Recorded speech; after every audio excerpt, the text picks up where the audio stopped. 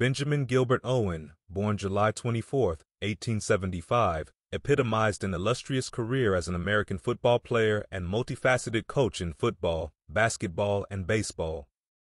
His sporting journey commenced in Chicago, followed by relocations to St. Louis, Missouri, and Arkansas City, Kansas. Owen's initial foray into football at the University of Kansas under the tutelage of contrasting mentors Wylie G. Woodruff and Fielding H. Yost laid the foundation for his sporting prowess. Transitioning from a player to a revered coach, Owen embarked on a remarkable coaching trajectory, serving at Washburn College and Bethany College before etching his legacy at the University of Oklahoma from 1905 to 1926. His dynamic coaching philosophy revitalized the Oklahoma football program, securing the team's first historic victory over the Texas Longhorns. Despite encountering adversities, including a tragic hunting accident that cost him his right arm and subsequent political dismissal due to purported excessive salary demands, Owen's coaching tenure was momentous.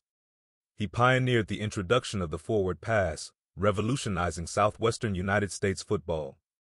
His leadership played a pivotal role in the Sooners' historic scoring records, solidifying his stature as one of the four coaches with over 100 victories at Oklahoma. Beyond football, Owen showcased his coaching prowess in basketball and baseball, exhibiting an extraordinary multifaceted expertise. His outstanding coaching tenure merited induction into the College Football Hall of Fame. Benjamin Owen passed away on February 26, 1970, in Houston, Texas, leaving an enduring legacy in the realm of collegiate sports.